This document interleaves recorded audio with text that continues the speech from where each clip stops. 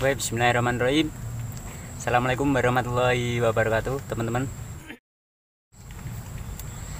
Kembali lagi teman-teman di channel yang masih sama ya, channel Asep Maulana. Oke teman-teman, kali ini di sebelah saya ada bahan bonsai waru Taiwan ya. Waru Taiwan ini rencana mau kita jadikan bugel atau demek ya. Ini posisi di ember tapi udah ngeground. Ini kurang lebih di sini udah lima bulan sampai tujuh bulanan lah sekitarnya di sini ya. Ini posisi dulu cangkokannya cangkokan besar teman-teman ya. Nah jadi ini akarnya di sini masih kecil-kecil ya. Ini seukuran rokok mungkin di sini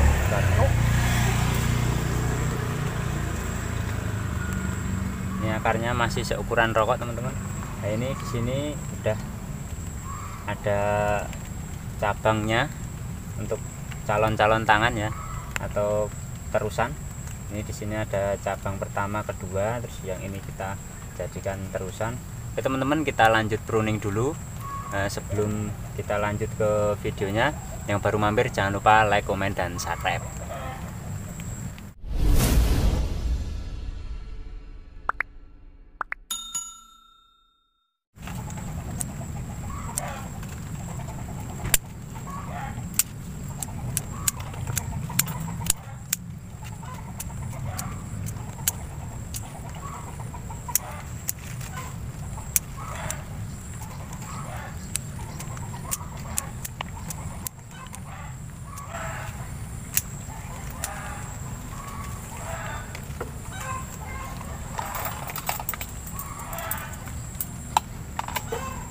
Oke teman-teman, ini setelah kita pruning, kita langsung coba untuk e, melakukan pengawatan untuk mengarahkan cabangnya ini ya.